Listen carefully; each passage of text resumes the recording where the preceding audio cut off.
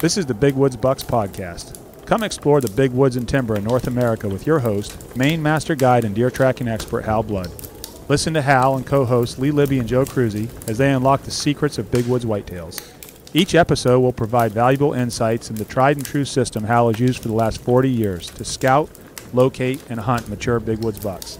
Listen and laugh as the crew discusses Hal's legendary adventures and learn how to apply a lifetime's worth of lessons from the big woods to your own hunting and outdoor adventures. Welcome to the Big Woods Bucks podcast. I'm your host, Hal Blood, sitting here at Parlin Lodge again with Joe Cruzy, Hello. Lee Libby, Hello. and once again, Rick Labbe. Hello. Backed by popular demand. Yeah, that's right. Rick said he had a few more stories he could tell, so we decided we better have him back on. So everybody knows it's deer season's begun here in Maine. Probably other places haven't quite started yet, or maybe they have. But we're going to uh, swap some deer stories, give you some tips, and what we're going to do uh, throughout deer season here in Maine throughout the month of November is we're going to uh, we're going to up the game a little, and we'll do a podcast every week so we can keep you updated on what's going on here and and uh, we'll get emails from you and pictures I hope of bucks you're shooting but Hopefully, we'll have some to post too. yeah maybe we will we'll get- Hopefully. We're going to get the game pole set up today out here and uh, Joe said we can put the uh, what do you call that camera A webcam? a webcam so we're going to put the webcam What do you call that camera thingy?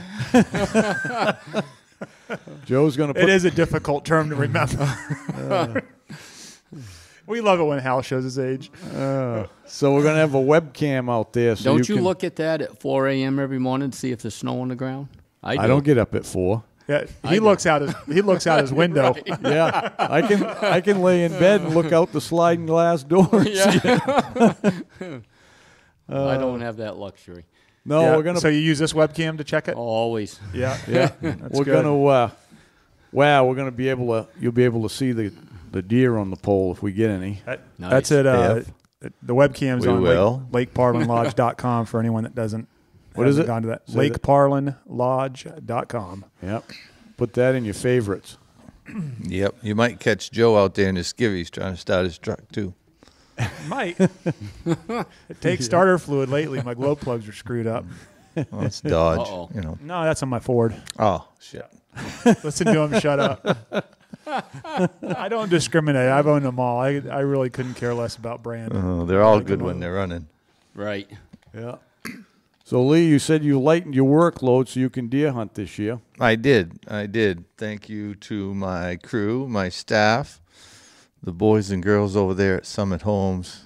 Yeah. Realize how important this time of year is to me, and uh, the office actually took their vacation last week in anticipation for me not being around as much. But uh, I'm very fortunate in that I don't have to be there for things to run smoothly. So, yeah, looking Great. forward In, to it. in fact, maybe it runs smoother.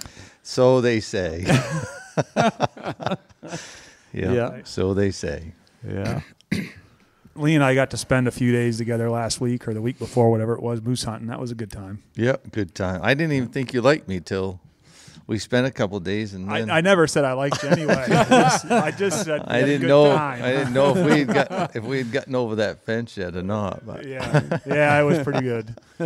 We almost we almost had a awesome. Well, it was an awesome encounter, but on the uh, uh, it was the last morning, I guess. yeah, last we walked morning. in two Yep. 200 yards from the truck, and we're walking down a skid trail. It was Lee and I and and uh, the hunter, and all of a sudden, I mean, 50 yards from us on the other side of this green growth, we heard a cow just let out a bellow, and we're like, I mean, it was we were like on top of her, but unfortunately, the the little spike that was with her showed himself, but the big one never did. So No, it was a it was a good hunt. Uh, we had a disabled vet that week, yeah, and uh, we stretched his legs more than I think he had had them stretched in a little while. I think he liked it at the end of the week. I think it was a an eye opening experience for all you folks out there that think you can still ride around in a truck and shoot a trophy bull. That doesn't happen anymore. Those things, uh, we're hunting those like deer now, and to get in there and find yeah. a big one, that's what you got to do. Definitely. Yeah. Yeah. yeah. Yeah. He got he got it off to a little bit of a rough start that week, didn't he, Lee? Yeah, well, you know, I'm pretty lucky. Yeah, I And know you uh, are. so Monday morning, 7:30, I get a 55 incher with beautiful fronts and big palms standing there at 30 yards, and he was hunting with an A10, and uh, he A- pulled AR-10. AR10, sorry. Yeah. And uh, he pulled up He had the old warthog with him. broadside Plane. shot, and he pulled the trigger, and it went click. And uh, so then he tried to rack another one in, didn't work, got jammed up, and his dad was there as the the sub permittee, and I says, "Can you get a shot?" And I think the dad wanted the son to shoot it Yeah, so that's usually the badly that he just waited, and that that bull walked off. And I thought to myself, I wonder if they realize what just walked off Yeah, you know. And we spent the rest of the week. He had two more opportunities to shoot smaller bulls and chose not to. And I think after seeing that one Monday morning, It's a that common set story. The, that set the Yeah. bar for him. It's a you common know. story. Yeah. yeah. But we had a good week, and and uh, he uh, he definitely he definitely got in shape because it is funny what just a few days of walking all day will do. It'll get you go- right going, and Yeah. Oh yeah. That first day, two miles was about tops for him and his dad. And Friday, Joe jumped into the game and stretched him out. I think six miles on the GPS, yeah, six something or like seven, that. something Yeah. like that. Yeah, it's a good So day. it's good. And Yeah, he said, he Yeah. said at the end of the day, I feel better now than I felt in a long time. Yeah. So yeah. But we ended up that on. He had to leave early on Saturday. Um, he had a commitment on Sunday he had to get back to, so I ended up jumping on with someone else there that we hadn't filled a tag yet, and it was the closest I've ever been to the end. It was 13 minutes left, and we shot a bull, and it was a good hunt. We went Yeah. in. We ended up having to pack them out, so Yeah. it was it was a good time. Though. They got the full experience. I scooted out just in time. Yeah, you did. The funny thing is, is that we're over there, and I it was it was an area where I just barely had like my cell coverage was in and out. And the moose hits the ground, and we get down to it, and we're standing over it, and everyone's congratulating and high fiving, and my phone rings, and I'm just sitting there because my mind's going, all right, it's it's dark right now. We got to pack this thing out. This is who we have here, and I remember when I was walking down when because Colin, who was with us, is actually the one he spotted that bull across the road and he got a hold of us and it was I don't know 20 minutes or half hour later we got up there and started hunting down through there, just still hunting for him and uh, so we we killed him and the whole way down through there I was thinking if we shoot this thing right now this is going to be a long night. You know, but Hmm, yeah. it's uh, it wasn't that bad because right after we're sitting there talking and my phone rings and it's Eric. He says, "Hey, what's going on?" I said, "We just killed one. Need any help?" As a matter of fact, yeah. and Eric and I have cut up and packed out a few. He's he's excellent at cutting, and I'm excellent at walking. So yeah. so that was fun. But Yeah. Anyway, we're on to deer now.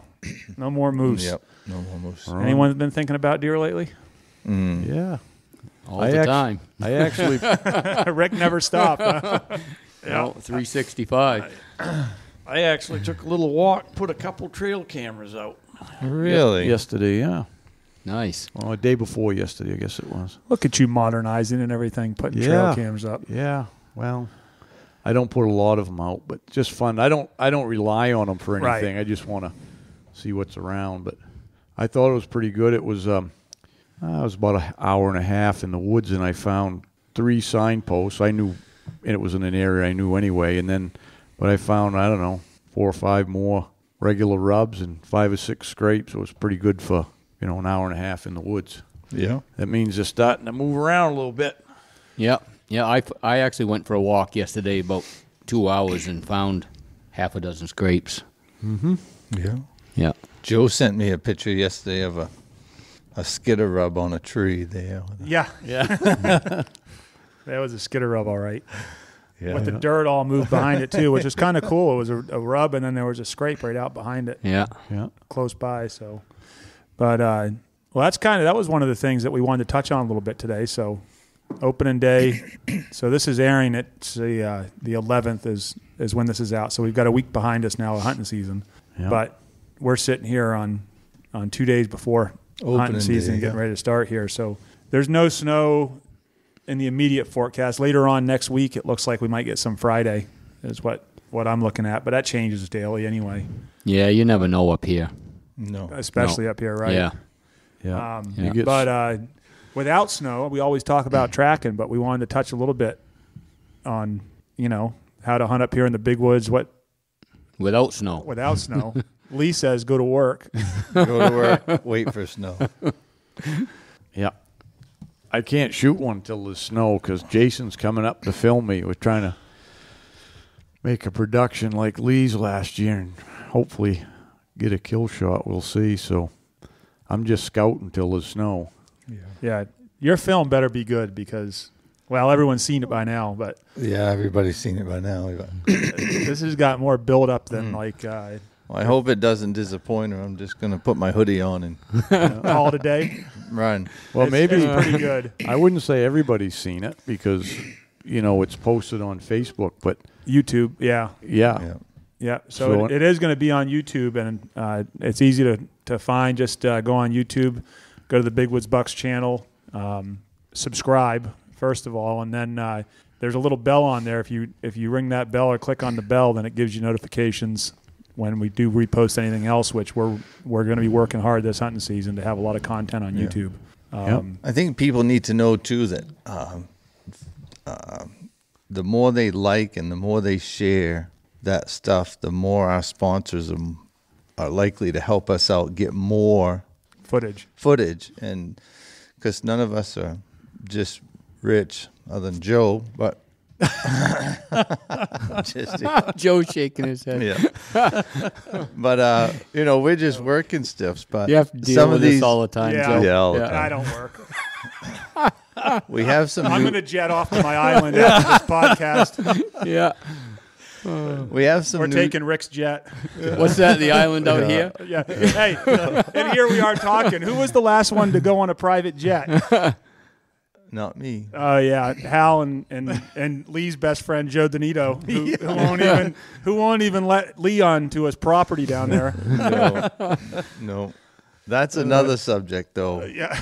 This, that's going to be my next film, The Search for Joe Donito. But anyways, back to the sponsors. We've got some good ones coming on, uh, and they just need to see that you guys and gals want to watch us. That's all they need to give us a little bit of coin to go do our thing. So Yeah. help us out if you want. If you don't, hmm, What I'd add to that is, is we, we've already, and I've always said this, we're not going to take on sponsors unless we, you know, believe in their products or whatever. We're not going to hawk everything that comes down the pike. you Yeah, know, it's going to be things that useful to us in the big woods and Yeah, things that make sense. yeah, things Yeah. that make sense to us that we'll uh, pass along to you. And Which Yeah. along those lines, I've had the I've had my uh, Yokohamas on for a couple weeks now, and I did a trip down to New York, and they are. I've had a lot of off road tires, yeah, and the, these are these are aggressive tread. The ones I've got, I've got the MTs, thirty same as mine. Yeah, Yep, 35 1250s, and that is an awesome highway tire. yeah. Nice. It, it just, I mean, they ride really well, and and the noise is is minimal. Yeah, not Yeah, I at all, told you that when I got mine. I went New York right off, and the same thing. I'm like, I couldn't believe them things weren't howling down the road. They Yep. look like they'll howl, but They don't. They don't, no. No. San- No. My buddy Sandy there's got a set. He put on his last truck, the Nissan, fifty thousand, and they still look pretty good. Nice. no kidding. Yeah. Wow. yeah. I I, mean that's the, that's a lot of miles. yeah. That's Yeah. a How lot is of Sandy miles. doing? He's a he's another big butt killer that would be good on here. Yeah, he just retired. Good for him. Yes, you better look out now. Oh yeah, the, the animals better look out That's now. right. Yeah, yeah. Nice. But so uh, we were kind of laughing. We were uh, Rick started telling a few stories, and I said, "Save them, save them. Yeah. I want to talk about them because you know any guy that's been hunting up here for a long time and has all that experience always has stories." Oh yeah. Jeez. So, but uh, going back, we'll get to that. Uh, so, Hal, what's your in a situation like this, and what are you looking for, and, and how are you hunting the big woods when there's when there's no snow on the ground? I can't sit still for more than 10 minutes, so I just walk around. And I cover I cover the ground according to the sign is what I do. If you know, you get into places here where you don't hardly see any tracks or any sign, you got to get through those places. You can't take a lot of people think still hunting's like you take a step to and look No. around. you can't do that. You gotta you gotta move until you get into the sign. So I'll move through an area, and uh, I always try to find. You know, I either go high or low because without snow, it's maybe it's a little warmer or something. But them bucks like to be up in where it's cooler, up on the tops where it's green growth, or down in the bottoms where it's cedar bogs or swamps, and uh, especially down in the bottom is where you're going to most likely find those signpost rubs and stuff. So I just look for that. I kind of I call it s- still hunting slash scouting. I'm really scouting, and uh, when I find some good sign, I I slow right up and start trying to figure it out, how the bucks are coming into it, how they're going out of it. You know, if I find a signpost, I take a picture of it, of course, and then and then uh, then if I can figure out where it looks like you know a buck is going or several of them, I'll kind of follow that direction, you know. Sometimes if it's wet leaves, you can follow the tracks a ways, but if not, you just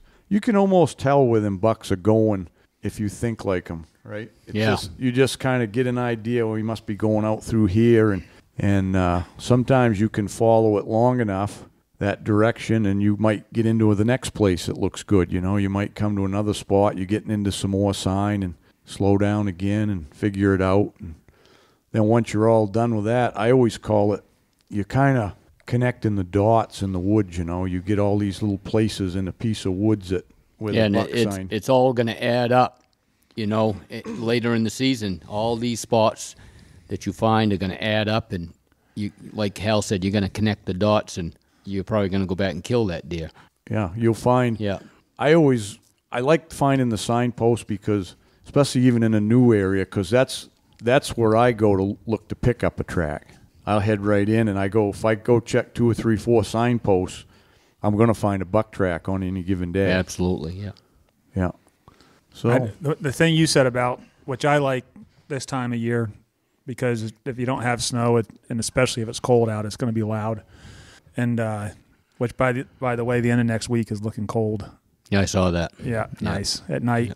Uh, but anyway, um, I like the the the spruce and cedar bogs and stuff because that tends to be quieter to walking and Yeah. slipping around is is why I like it most. Is it anything up in the to me anything where you got to go through the leaves a lot or right. It's just noisy walking. And I and I'm unlike Hal. I can stand and sit for a while. If I get into a spot that's nice, I'll sit down for an hour.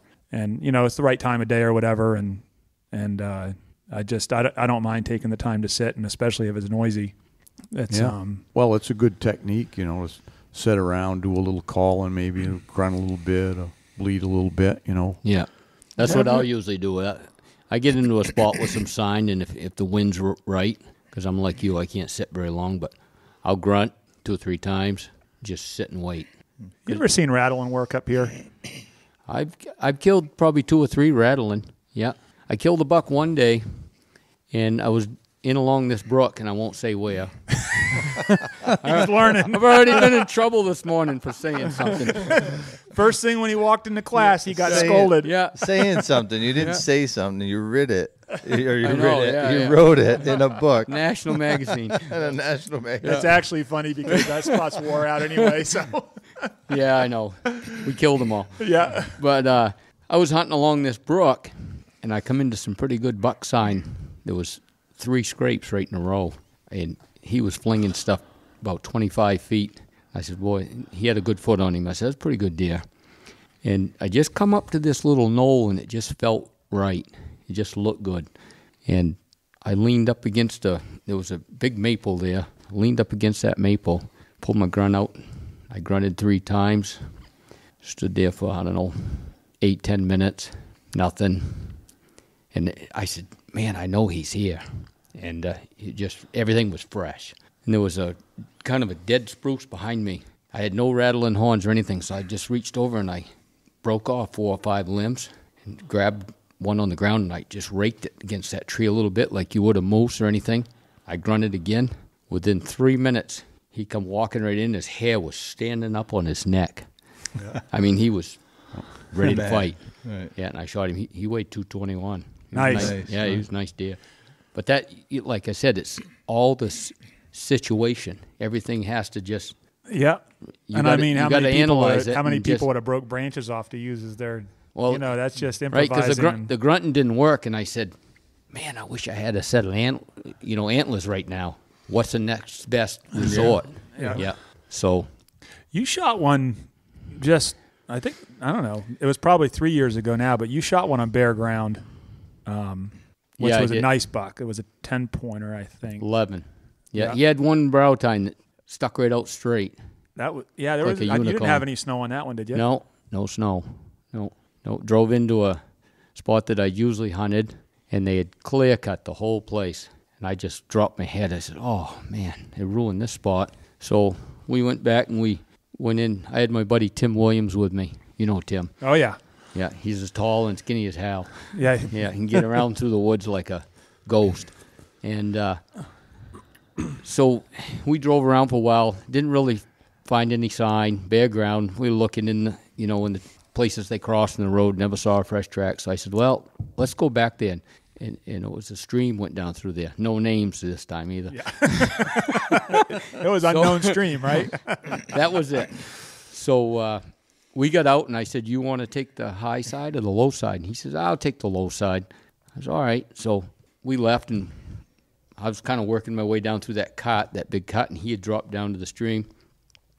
And I looked up ahead, and I just see a couple tails go. Really couldn't tell what they were. And uh, when I don't know, probably 30, 40 more feet, and I see a big buck track right in the mud. I said, geez, I said, maybe that was him. It was a pretty fresh track. So just quick thinking, I the highway was probably, oh, 100 yards from where I was. And uh, so I run out to, and I'll tell you where it was, over in Eustis. So it wasn't really. Send them all over there. Yeah, yeah. What, Wasn't really a highway, but so I, I ran out to the road, ran down the road because there was a bog ahead of me, and I knew I'd have a hard time getting through it. So I ran down the road about three, four hundred yards, and just on the other side of it was this little cabin, little camp. Well, these guys were in there. It was just you know probably half an hour after daylight by then. These guys were in there. You could see them sitting at the table drinking coffee. They, hadn't even got out the door yet. I never heard this part of the story. This is good. Yeah. So I snuck down by their camp. They never saw me. Snuck out back, and that brook kind of fed across the road into that, and that's what created that bog. It was a big bog. So I, now I was on the other side of that bog. I dropped down in there, and there was just a little bit of a ridge that kind of came up. And of course, Tim was down probably a quarter of a mile from me by then, down towards the stream, working his way. And we figured either one of us would jump something that might loop around back to the other guy. Kind of still hunting th- through there. And I just got to that knoll, and this doe come from my right, which I'm pretty sure it's the one that I jumped back in that cut. She just worked her way through the bog, and she was coming up through. So I just stopped and stood there and let her go by. She stopped and looked at me. I waited four or five minutes, and pretty soon here come that buck. Had his hmm. nose right on the ground, right behind her, and just goes to show you, you know, just quick thinking, Yeah. something something might work, Yeah, you know, yeah, and yeah. say, well, that that might That was work. a hell of a nice buck, too. It was a good deer. Yeah. What'd that one weigh? Two sixteen. Yeah. Yeah. Nice rack on it. Yeah, That was early in the season, wasn't it? it was. That was yeah, right and I almost beginning. I almost let him go Yeah. because Of course you did. yeah, I almost let him go because I. But then I, I stood there and he was coming and I said, well, I'm I'm going to Saskatchewan next week. Yeah. The week after that, I'm going to Missouri, and I Right. said I probably ought to shoot him. Yeah. I'm going to hide in your luggage. It would be a big bag, but I could get in there. Yeah. So we never we never did meet up with the guys that were drinking coffee in the Yeah, camp. yeah. I was going to No. ask you what happened with that. No, I thought you were going to say you drug it out through their backyard. no, we went around. We didn't want to. We didn't want to Disturb them. Right. See, a lot of times people people ask me all the time. You know, they're trying to explain their situation in the woods. You know, they'll say, "Hey, this, I had, I was following this buck, or I had this buck do this or that or whatever," and they say, "What would you do?" And I always say, "I don't know because I wasn't there." Right? Yeah. Exactly. Every situation's different. You got to assess the terrain, the woods. the wind. The wind. just- Oh, yeah. Yeah. Yeah, and then you have to do something. Like we said, you just got to pick something and do it. Yeah. Yeah. I call it a fork in the road. You pick one fork and go, and Yeah. then because you're going to come to another one anyway, and eventually it works. Something happens, but if you don't do anything, you're Nothing's never going to gonna get work. one. Yeah, No. you I was going to say that's the most important part is to be there. Be there. Yeah. Because a lot of times people are waiting for the perfect day and the right conditions. Yeah. And Oh yeah. sometimes you have to. I mean, sometimes you got limited time that you can go, and and that's what you got to do. Right. Got to be in Yeah. the woods. Don't I, be, I will say one thing about hunting this time of year is always always hunt into the wind. You don't have that choice when you're tracking because you, a track takes you. He, lots of times those big bucks like to walk with the wind to their back, and uh, but this time of year you want every advantage with no snow on the ground. And, you know, always so whatever piece of wood you go into, always assess it from the right end. Yep. Yeah. Yeah. Yeah, because God knows how many deer you're blowing out of there. If Oh. you're- if you got the wind at your back, or I usually any of them usually you walk. It's usually a west wind here, a northwest or something. Right. And try to go in on the east side if you can. You know. I don't know. Lately, there's been a lot of south. Yeah. All this rain and stuff moving in. Been a lot of that over we, moose we need a northeast wind. yeah, from what I understand, it's coming tomorrow night, s- 50, 60 mile an hour up here. Yeah, it's going to drop. saying. It's going to drop right down. It said 27 Yeah. 20, yeah. 25 I saw over in tomorrow Eustis. night. Yeah. yeah, tomorrow Yeah. night. So the leaves will be crunchy Saturday morning. Yeah. The wet leaves will be froze. Yep. Yeah, probably find you on one of those big Texas box blinds Yeah, that's what I was thinking about. yeah, overlooking a big cut. my food plot. Yeah. Oh, I did that one morning on Crunchy Leaves. Did I ever tell you that Big Ten that I had the Model 700 Remington bolt action? I don't and the I night heard it. before, I was sitting there at the table and I said, oh, I'm going to clean that gun. So I pulled the gun apart and I dumped some oil down that firing pin, thinking I was doing Oh, a, a great thing. You know? Yeah, that- we've done that before. Next morning, I go over. This was in Baldwin. Uh, went over to a dirt road. Was pulling up in that dirt road, and I see a big buck track frozen. But you could tell it was made the day before because it was in the 40s or 50s, and then dropped right down. But you couldn't walk through the woods; it was so noisy. There was a little brook there, Breakneck Brook, the upper end of it, and uh, that buck you could see was going down in along that brook, and I knew there was a big open hardwood area down there, and then a new chopping. Then it went down through the edge of this field, had a couple stone walls around, just beautiful southern Maine deer country. I jumped right in that brook, and I started working my way down through that brook, and I looked up after about a quarter of a mile, and that ten point is trying to get on the back of a doe, and I'm oh. like, son of a gun. Yeah. So I pulled that gun up, and I could not get that firing pin to hit that that primer hard enough to go off. And I ended up with that gun stuck under my armpit, breathing on it. And obviously, I was making some commotion because he got same his, thing you do with the women, isn't it? Yeah, yeah, Stick yeah. them under your armpit, Yeah. breathe on them. warm them up. and uh, I couldn't get it to go off. Needless to say, he walked off, and uh, and uh, that was it. It's hard to concentrate, Lee, when he keeps making those comments. Oh that's- no! You should see me driving. He gets talking, I go right off the road, like two kids in the car. Yeah. I never got a I never got a word in edgewise. You were just nonstop. I can't believe that. yeah, I learned a lot, I learned a lot about Lee. I listened to a podcast there the other night, and Christ, I didn't think I said enough. I said I got to start talking. Yeah. Joe talks all the time. All right, I'm out. you guys are giving me a complex. Hey, folks, Hal here. Hey, uh, want to talk about uh, the biggest challenge people have in the woods, especially the big woods trying to hunt, is navigation. It's the number one, and it's the key to be able to hunt successfully in the big woods. And uh, a compass, of course, you've got to have a compass, but maps to go along with your compass is really going to be a key. You know, they're going to show you a lot of things like your terrain features and all that, and also the the old trails, logging roads, etc. And uh, I think the way to get these is with uh, with onX. They've got a great mapping software, and you can you can download it into your phone as an app, or you can get an SD chip to put into your GPS. They fit most any modern GPS, and uh, that'll cover. You can get them. You can get a chip for any state, or you can uh, when you download the app. What you can do is is download you know topographical, but also satellite imagery. And that's the one I use the most because the satellite imagery tells me I can see what kind of trees, if it's softwood trees, hardwood trees, and uh, you know you can also see uh, logging different types of cuts. You know, it might be a clear cut or, or whatever. Very very helpful for hunting, whether it's deer, moose, or anything you're hunting. But um, what I like about it is when you're hunting in remote areas,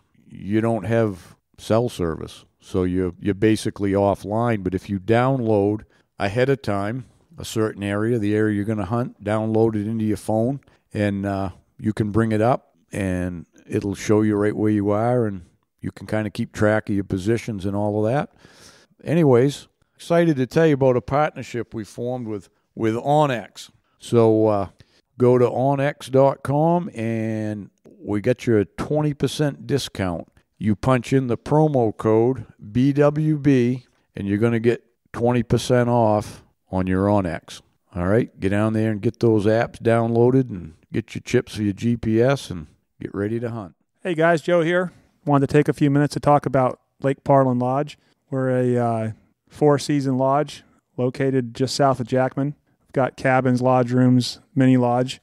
We're a big snowmobile destination in the winter, full restaurant, bar, all the amenities that you need for your trip. Open all obviously through the summer, right on the lake.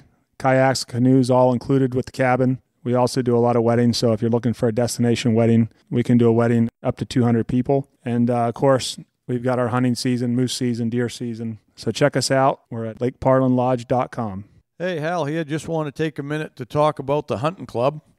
And uh, you can join by going right online at uh, bigwoodsbucks.com. But, anyways, I've got uh, all my information is going in there, and it's a place where you can get together and and uh, look at my films, tips, writings, and all of that. And the best part is is is is forums for you to communicate with you know the rest of the club members, talk about Bigwood stuff and all of that. So, anyways, thirty six bucks a year, cheaper than getting a Starbucks once a day. So, join up and hope you see you on there. Uh, well, maybe I won't hunt Saturday then if it's going to So- be noisy. yeah, I'll get in the brook and walk. You you were telling Hal a story. I was Chris had my ear there on the phone, but you were telling some deer story when when I was on the phone and I heard some chuckles and stuff. You think I should tell that one? Yeah, the one when you was a kid. Yeah. Yeah. Oh yeah. You do? Yeah. Yeah. All right. Well, uh, this this was down. This is You a know- lesson about what Yeah. not what kind of hunter not to be. Yeah. It is. It. Yeah. Exactly. Well, they ain't real hunters, anyways. But No. Well, I, so this was back, I don't know, in the probably in the 80s, early 80s, I guess. I mean, might have been, yeah, about 80, 1981 too. And I was 16. We got up that morning, it snowed about a foot. And uh, so Dad and I headed over to the camp. This is probably the middle of November. And we went over into the camp that morning and where dri- where was camp then? down in on Martin Stream. Okay. Yeah, da- down around home.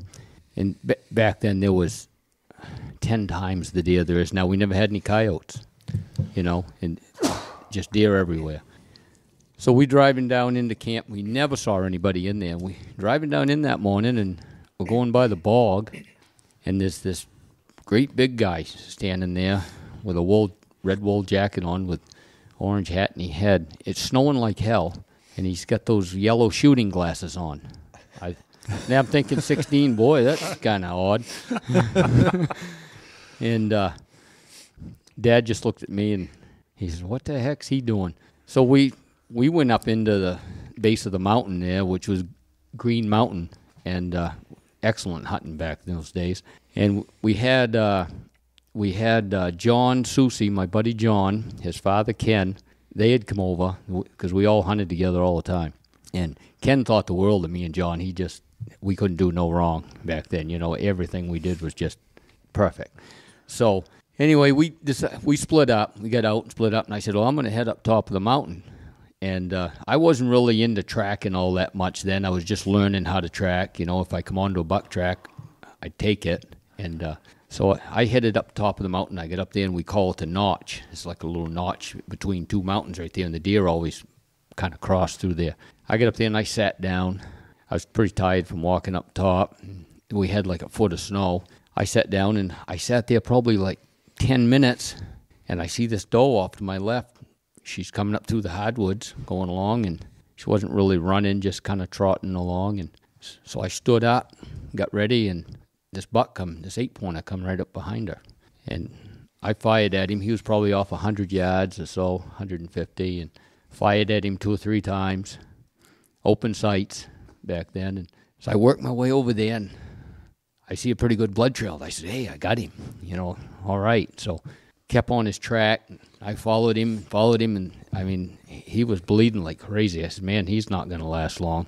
Like, finally got down. He went back down over the mountain, down into the bog, down in towards Martin Stream, and uh, there he was standing there in the thicket. He he was running out of blood, getting pretty wobbly, and I fired at him, finished him off.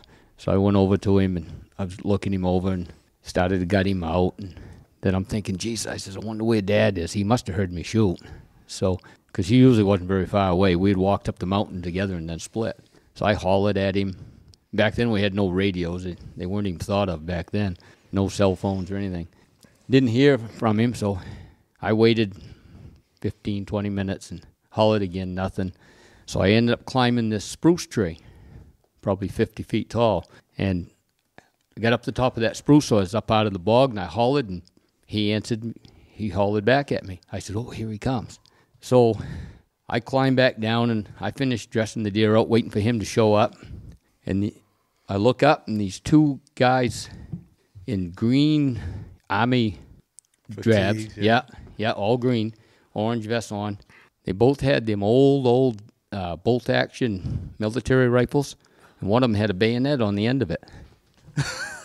this is a true story.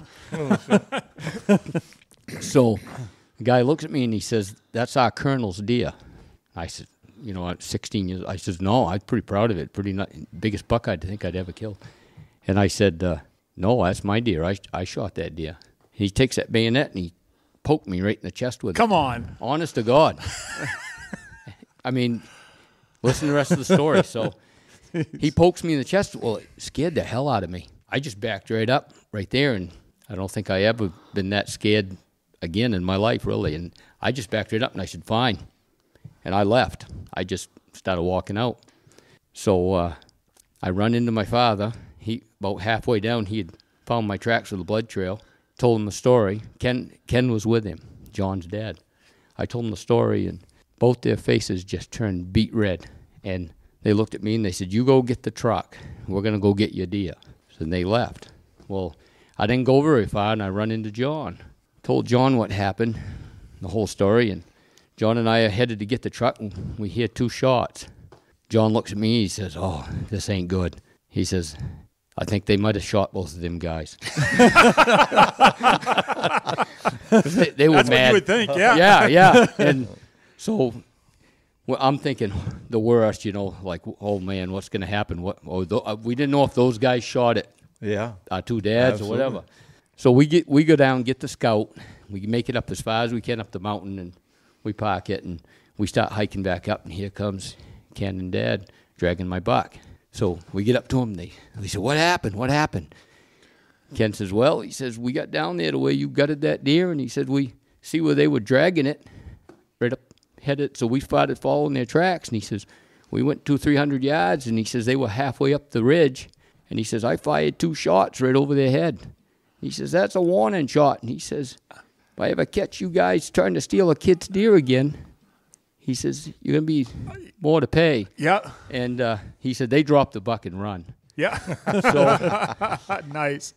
Well, so we we loaded the deer and we head it back down and we get down to the the main tote road there because we're up on like a skidder trail with the scout. We get down the main tote road and we turn the corner and here's that colonel guy standing there. Mr. Yellow Glasses. Yep, yeah, that was him. And he filled his jacket up pretty full. Yeah. So he's standing there, and we pull up beside him, and he sto- he stopped us. He puts his finger out to stop. So Dad rolls the window down. He says, "That's my deer right there." Well, I'll tell you right now, my father stepped out of that truck, grabbed him by the sh- And collar. Rick's dad is not some small guy. He's No. a pretty rugged guy. He's rugged Yeah. now in his 70s. I can imagine what he was yeah, like and, then. And, and Ken got out the other side. They grabbed that guy by the collar and shook him. And he says, if you ever come back in here again or ever try to steal a kid's deer again. He says you won't live to tell about it, and, and we never saw him again. Yeah. But I mean, So what? So what was the deal there? Was this guy really a colonel? Were, were those his minions? I mean, I think. Well, we asked him where they were from, where he was from, and he said Mount Vernon. So, but that was the last time we ever saw him. the colonel from Mount Vernon. Colonel. Yeah. That's going to be the next film. It won't have as much fanfare as Lee's film, though. But I, that's a good storyline right Yeah. there. Yeah. Yeah. Yeah. Could I- make a movie. We, out c- of I that. could work with that. That's pretty funny. That's I have interesting. more, Lee. Do it. Oh, Yeah, I bet. Yeah. Yeah. Oof. That's that's something though. It, it it just is incredible how someone can. And you hear stories all the time. People that that Yeah, they try just, to claim another deer. They just or- wanted to steal that deer from me, and and uh, so they could take it home and claim Show- they yeah. shot it. I get, Yeah. that, you know. Yeah. yeah. that was like uh, What my what- neighbor, my neighbor uh, Jack. There, that he's not there anymore. He's Yeah. I remember he's in his 80s. Yeah. So Yeah. so he used to uh, he lived in Bingham in the 50s, and he would he would shoot deer for room and board, um, and he was shooting them for hunters that would come up and didn't care about killing a deer. Yeah, So I they can't were shooting imagine deer that, for huh? people. Yeah, and you hear Yeah. about that stuff that happened all the time. You used to. Yeah. That was kind of back in the old days. That was almost like part of a guide's job was to get deer for the clients. You know, back then it was the deer were thick up north, and Yeah. I we don't, we're not doing that next week. No, That uh, was the only reason I signed on. I thought I Oh, could hunt the whole month. Oh, you'll hunt all right. I know the old timers used to tell me. Oh, I mean, remember old Amy LaCour? You guys, do you ever meet Amy LaCour? I never did. No, geez, he was a nice old guy there. He was born like the turn of the century and lived back. He was born in Lowelltown back when the mill was in there and stuff. And and uh, he was a tough old guy, little little short French guy there. But he used to always tell me, "Thank God for the beaver." You know, he said we didn't ever made it because they there weren't many beaver and they were worth a lot of money. You know, he said one winter he trapped like 13 beaver. That's what he trapped all winter, and but it was like a fortune. They were like sixty dollars a piece or something back then. But anyway, he told me guiding. He said, you know, guiding the hunters. Um, I think he said back then though, and this might it was probably by the like in the 30s and 40s. The guys working in the woods made like a a buck and a half a day, and uh, then uh, guys some guys made two bucks doing something, and the railroad workers made three bucks a day, but guides made four bucks a day. So it was the highest paying job was being a guide.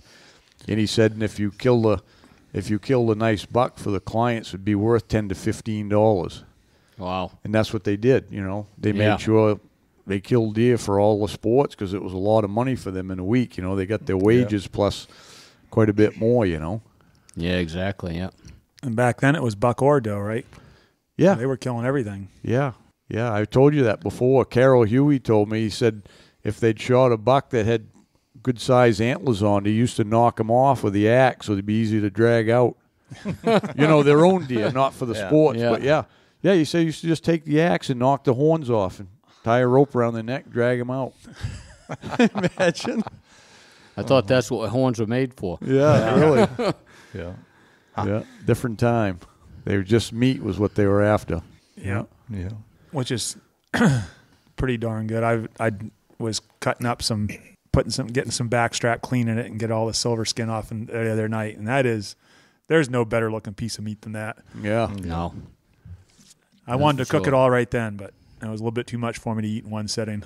I might have some next week. yeah. Yeah. Lee, you can eat a whole deer in about a month, can't you? I've never had one go past my birthday. and That's April 1st. So Yeah. I can do it in less, but it's the, per- the person that lives in the house with me usually can't can't do it every day. Yeah, can't tolerate it every day. Yeah. I've been Yeah. eating elk meat about every third meal lately. Yeah. You can send some over if you want. Yeah, yeah. Yeah, the big jet setter, the the, the uh, the jet set. yeah, Rick and Hal, they're they're flying out west hunting elk by the working stiffs. Lee and Joe are back here, Why do we do it? So we can sit around and talk to them Hey, and I- hear uh, about their stories. I've invited you for a long time. I know, I know. I actually I told Hal before you came. He said he said I got another elk head here for the lodge, and I said you know I'm going out there soon. I got to do that. You You've better. been asking me forever, so Yeah, you better. Yeah. I'm going to do that here in the next few years.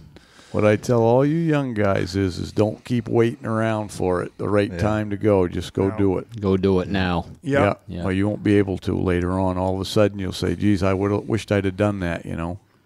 Well, you know that is the challenge though of when now when your work crosses over and your work is hunting, you know, with moose seasons and stuff. Yeah, it right, Gets in the way. Yeah. Yeah. But, uh, yeah, you just get so busy. Yeah. You know. Yeah. Yeah. But Yeah, even That's- when I had my other place though, I, I always wanted to go Dall sheep hunting and I, I carved out a piece of time I could go in between the you know, in between the moose season and you know, it was in between bear and moose, I guess, or something and just went, you know, and did it, you know. yeah, Woody tells me that uh, you guys are going next year or the year after. He wants to go in twenty one, yeah. Yeah. Where you going? I don't know yet. Oh no.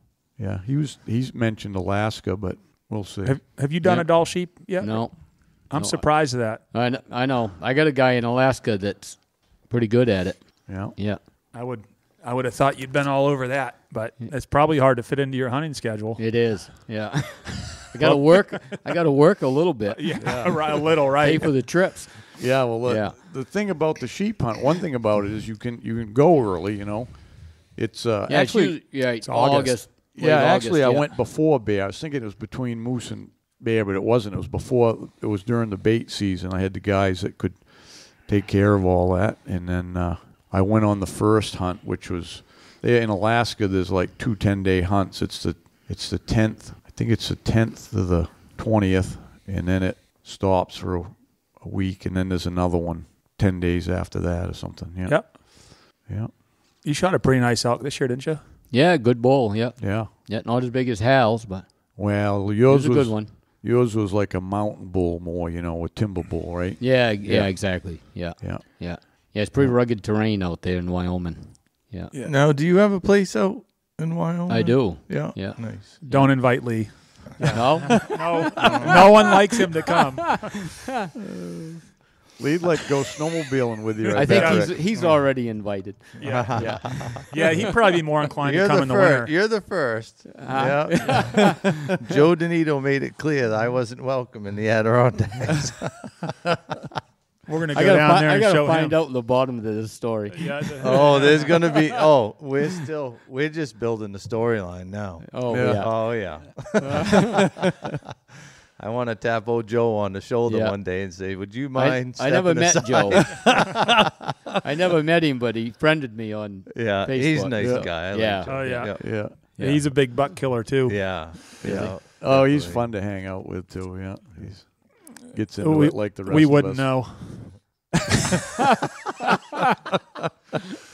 you got to be part of the exclusive Uh, club to go down there with Joe it's like- huh, yeah, it's like that uh, that pretend friend that Hal has. What's his name? Steve. You ever met him? No, he's his imaginary friend. Imaginary friend. Yeah, he was. He's like that. The girl, you know, in middle school. Oh, you got a girlfriend? Yeah, but she lives far away. Uh, she's where I used to live.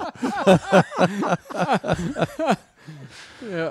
Oh, we don't do this because it's fun. Nope. I think you've met work. Steve Lee. I know I have. I'm just saying. Oh, look at him getting all defensive. Yeah. He really does exist. We made out before. Oh, I remember the first time I ever met Steve. You wouldn't know. He was just a nice guy, you know, just a oh, regular yeah. client. Nobody ever told me anything. Yeah, good guy. Yeah, you walked. How many miles did you walk that night when the Ram Charger broke down 18. After we'd hunted in all day. Ontario? That's a good day's hunt. Yeah. No, no. That was after. After. The Ram Charger. Oh, but that 18 miles is a good day. Oh you yeah. know, all day. It was the last day of the trip. We'd been out there Holy. like 10 days. Yeah. And I had shot a buck, and uh, Kevin was with us. And Kevin had shot a buck. He came with me to drive. And uh, the conditions were terrible, too. It, it ended up being like uh, real cold. It gets cold there early. You know that out west there. And it was Oh, cold, yeah. below zero all the time. And the snow was crunchy. You know, it was just, and very little of it. You know, it was like barely an inch of snow. and Yeah. It was really bad conditions. But, anyways yeah.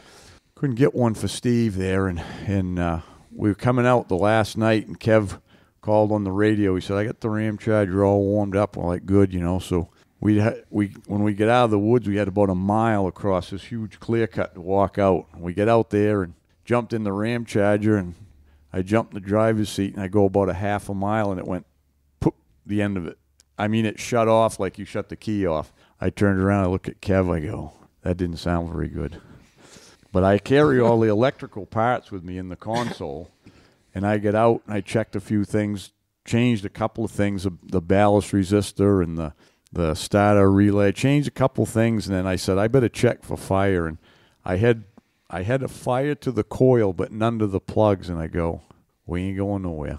Bad coil. No, I had a coil, but it was I knew it wasn't that though. So I anyway, I told him it was getting late, and I said, well, maybe we can catch a get a ride on a log truck, you know, on the way out, because they were had they'd been logging out on the main road, which was we had uh, five kilometers to walk to get out off this side road to get to the main logging road, and uh, we walked out there and Kev had gone ahead of us. I was still trying a couple things and he goes, I'm getting out to the road and he had a little fire going. No trucks had been by. So we start walking and we we were counting the kilometers off. You know, it was all marked. Well, from where from there it was 24 kilometers and was 29 we'd walk. But Yeah. we walked that whole road that night, and there was a truck at the realigner out at the end of the road. Thank God, he said he was the last truck. He had come out like a mile before they were cutting on a side road. He said, "Yeah, I'm the last truck out tonight." Ooh, that was a long trip after hunting all day and stuff. I I, think we told that story before, anyways, on here. But Yeah, well, got to cover it again. You know, not everyone's Yeah. heard it. yeah, So we were. What was that other story we were you were talking about before? Um, oh, the one where where you were by a lake and Yeah, are we naming that lake? no, no, No. it was Parlin. It was par, it was Parlin. Parlin Yeah, Pond. yeah, Yeah, it yeah. was. All right, we'll call it Parlin. Yeah. yeah, Yeah. So, uh, yeah, this was back uh, 2011. I killed this buck, and uh, Oh, gee, I thought it was. I thought it was long ago. That's pretty recent. Yeah, Yeah. yeah, yeah, I think it was 2011. I'm pretty sure. No, actually, you, I'm 10 years. It's 2001 because I just looked at the picture the other night, and it was dated on the back. Yeah. So Yeah. 2001, and uh, so yeah, quite a while ago. But I had this buck. I was, and it wasn't really that far from the lodge here. But I had this buck. I'd been chasing him for two or three days. He had a heck of a track on him. I mean, he was big deer, and uh, it was the last week of rifle season, and we had probably five, six inches of snow, perfect conditions, and uh, you get a little bit of snow every single night. I picked his track up, and Dad had been hunting with me quite a bit back then. He used to hunt with me almost every day, and uh, picked his track up finally that morning, and, and he headed right back into the mountains. I mean, I mean, just straight in. He'd be out there crossing the roads at night, look, searching for does, and and uh, of course, you know, the end of the season, they're looking for the last doe that's that's right. in heat. Those big ones always do that. Yeah Travel. travel. And so he took me back in, and, and it's back in by the lake there. It's all these little roly poly, just straight up and down ridges and mountains and ledges and just rough terrain. And I tracked him probably two miles that morning before I jumped him. He'd laid up on this little knob. I when I jumped him up, I should have had a shot at him. I could see his hindquarter, and and he had before that he had come in with the doe, so I wasn't sure if it was the doe, and uh, it actually was him, and he was kind of behind the blowdown. Well, he just stepped ahead, and when he did, I couldn't see him anymore. And then I got up there, and it was him. He had stood up out of his bed, and he was looking right at me. So I got on his track, and I followed him quite a ways, and jumped him two, three more times. He was tired. You know, end of the season, they're pretty tired, but then they're not running 10 miles. And uh, he come to uh, he come down to the end of the lake there, and the lake I'm talking about, it's got a kind of a peninsula in the end of it, halfway down the lake with a set of narrows where it almost comes together. Well, the, the main part of the lake was froze, and there was one big bay there that wasn't froze, and I figured the narrows wouldn't be froze. Well, I had fired at him once, missed him, and he headed for those narrows right out that peninsula. Well, I'm headed out along the peninsula, and the peninsula is probably only 30 feet wide, all covered with spruce. And uh, I'm headed out on his track, and he was running right along the, kind of the beach. And I just I just happened to think in my head. I said, if those narrows are partially froze, he won't try to cross them. So I I jumped over to the other side of the beach, and there was his track. He had run right back by me, 30 feet away, while I was going up that side. Well, then I knew he was headed right back for the big woods.